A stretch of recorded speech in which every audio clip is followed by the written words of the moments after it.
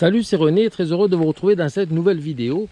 Aujourd'hui, dans cette vidéo, eh bien, je ne fais pas de la peinture, je ne fais pas du dessin, je vais juste vous montrer des, on va dire des, euh, modèles d'arbres, des troncs d'arbres. Lorsqu'on fait de la peinture de paysage, on doit peindre les arbres. Et souvent, on va les représenter de façon trop, euh, on va dire, euh, enfantine, avec des troncs bruns, des troncs larges à, à, la base, tout ça. Mais lorsqu'on est dans une forêt, ou comme ici, sur le bord d'un chemin, où il y a plein d'arbres, je vais vous montrer quelques exemples de troncs, de branches et d'écorces d'arbres qui vont vous aider à les représenter euh, dans vos peintures de paysage. Alors voilà de quelle couleur on peut peindre les troncs d'arbres. Vous voyez, il y a du vert, il y a du marron, du brun, du gris. Un exemple d'un tronc d'arbre qui n'est pas marron comme on pourrait le penser. De loin, il paraît plutôt gris avec des petites touches brunes, marron un petit peu. Et ici, nous avons un tronc d'arbre qui est beaucoup plus verdâtre. Vous voyez, selon les espèces, les couleurs changent. Un trait tortueux qui part dans tous les sens, des branches un petit peu dans tous les sens.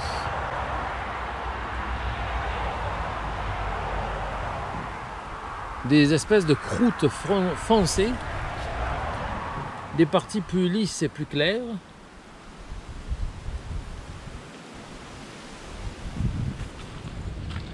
Voici un tronc d'arbre aussi avec des branches, des départs de branches très intéressants. L'architecture, les directions des branches. Si on prend note de ces structures, qu'on essaye de s'en souvenir lorsqu'on dessine ou qu'on peint des arbres, eh bien, ça va nous permettre de les rendre plus réalistes en essayant de s'inspirer de ce, ces formes-là.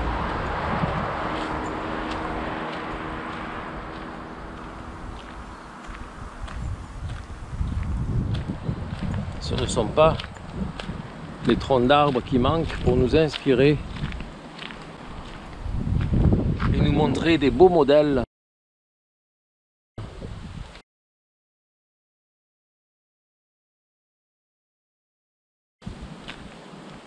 pour les peindre et les dessiner.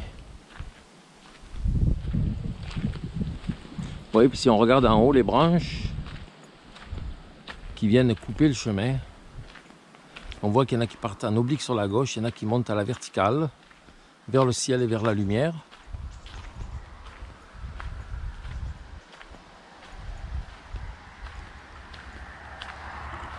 Voici des mousses, des lichens, assez jaunâtres aussi, qui donnent des belles couleurs.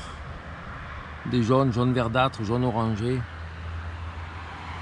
Le fond est brun, marron, rosé, et la surface de l'écorce est grise. Voici un arbre, vous voyez, tortueux, gris, clair, très différent des autres qu'on a vus jusqu'à maintenant.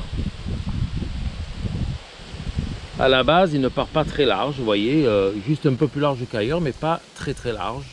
Il n'a pas des racines fortes qui sortent de partout autour du tronc.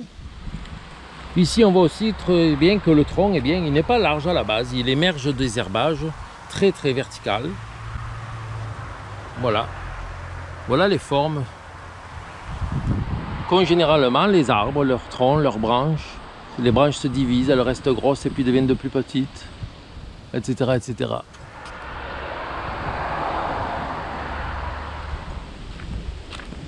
Vous voyez cette forme, hein, très tortueux. Cet arbre-là est vraiment très tortueux, c'est très spécial. Des petits, des moyens, des gros. Même s'ils sont à la même distance, à peu près, il y en a des petits, des gros, des moyens, c'est jamais les mêmes tailles. Des enchevêtrements de branches dans tous les sens.